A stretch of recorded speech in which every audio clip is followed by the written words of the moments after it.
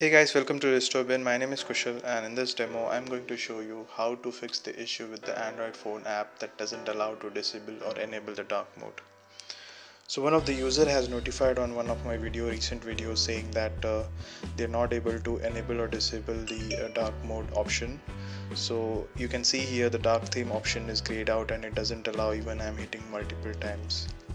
On some research, I found out that the dark mode theme here in the phone book is actually uh, connected to the messaging app. So within the messaging app, you can go and hit on the three dots and you will find the fifth option which says disable the dark mode.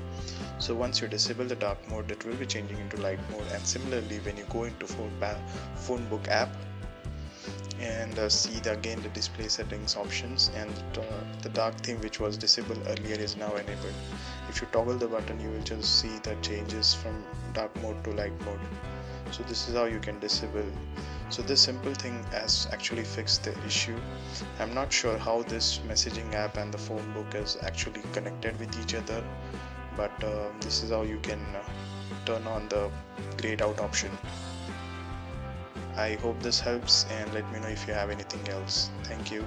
Have a great day.